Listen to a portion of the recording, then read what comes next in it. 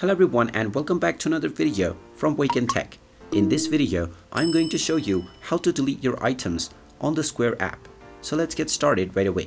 First of all, open up the Square application on your device and you will be asked to log into your account if you haven't done so already. Just use your credentials and log into your account and you will be taken into the home page.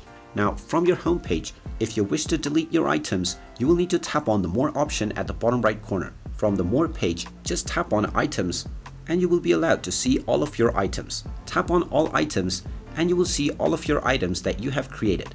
Now you can also create any item by clicking on the create item menu. If you wish to delete any item, just tap on the item that you want to delete and this will open up the details of the item. From this page simply scroll down and tap on the delete item button and this button will change to confirm delete. Just tap on this button once again and now this item will immediately be deleted from your library. And there you have it.